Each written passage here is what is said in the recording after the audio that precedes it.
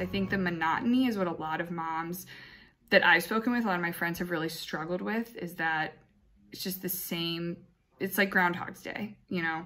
And when you have a little one, it's, it's just tough because they're looking to you and they feed off of you so much. So, you know, when I'm stressed, he's stressed. My husband works in audit, so he he's just really, really busy. He's working seven days a week, often uh, until midnight or later. And so with that, I, I did feel a little bit like a single parent trying to parent and work. It definitely made me just have so much respect for single parents um, and, and what they do. I know that I, I didn't even come close to experiencing that, but there were definitely moments, especially now that my son is older, he really needs full-time attention. The daycares are closed. We were able to get a little bit of nannying help, but I was also, you know, I'm still new to the firm, so I'm still trying to prove myself. Thank you.